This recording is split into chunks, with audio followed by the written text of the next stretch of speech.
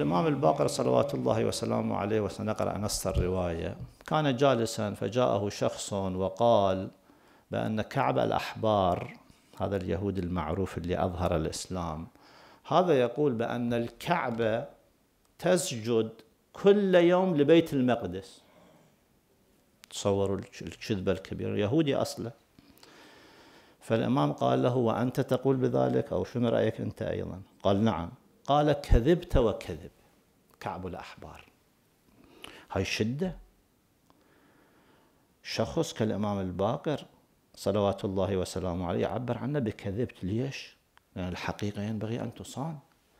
هنا موطن الشدة مو موقف مو موطن الرخاء. ومو موطن مو موطن اللين.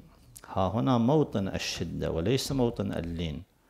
كما هو واضح. وإلا سيكون الدين في مهب أعاصير المتلاعبين. ففي صحيح زرارة هذا كتاب الفقه الحج المجلد 46 ففي صحيح زرارة قال كنت قاعدا إلى جنب أبي جعفر أي الباقر عليه الصلاة والسلام وهو محتب مستقبل الكعبة.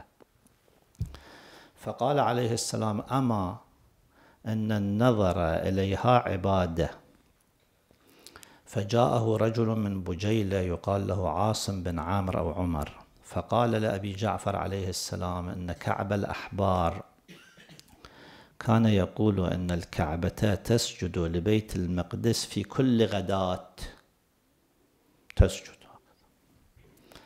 فقال أبو جعفر عليه السلام فما تقول فيما قال كعب الأحبار؟ فقال صدق صدق القول ما قال كعب الأحبار. فقال أبو جعفر عليه السلام كذبت وكذب كعب الأحبار معك وغضب. قال زرارة ما رأيته استقبل أحدا بقول كذبت غيره. أي غير هذا الرجل. الأصل هو الرفق هو اللين. الأصل الأصيل. لكن يستثنى من ذلك مثل هذا المورد. إذا شخص ابتدع بدعة في الدين فنقول له كذبت. نقول له ابتدعت بدعة في الدين. هذا مستثنى من ذاك العام.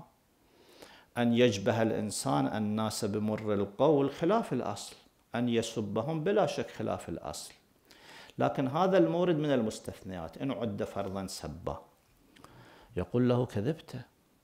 أنت قاعد تدخل في الدين ما ليس في الدين تجعل فيه وتدعي النسبة نسبة شيء إلى الدين وليست هي من الدين.